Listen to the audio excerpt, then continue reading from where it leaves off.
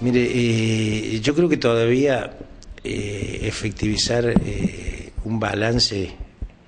para emitir algún tipo de juicios puede sonar apresurado. lo que sí, creo que lo del domingo ha sido una expresión contundente de la soberanía popular y este, como un ciudadano que este, he sido en su momento también eh, elegido mediante el ejercicio del voto, eh, debo un estricto acatamiento a esa expresión que es la expresión del pueblo y que se viabiliza en las urnas a través de su voto. En cuanto al análisis de la derrota,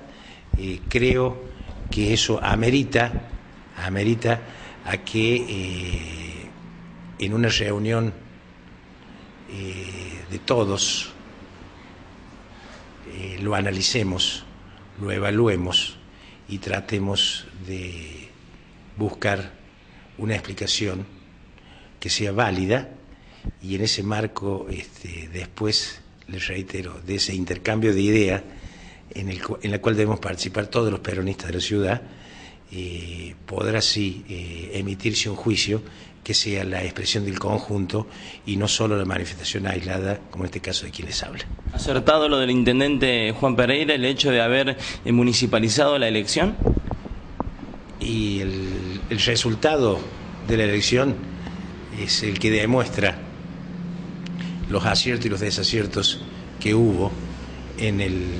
manejo previo a la contienda electoral que se cumplió el día domingo. Ahora, una última pregunta. Eh, ¿Hay que disolver esta sociedad de la cooperativa SEMDO para que el peronismo esté unido? Le vuelvo a reiterar, eso seguramente va a ser uno de los tópicos que tendrá que formar parte de esa reunión que nos debemos todos los peronistas para aclarar y definir todas las circunstancias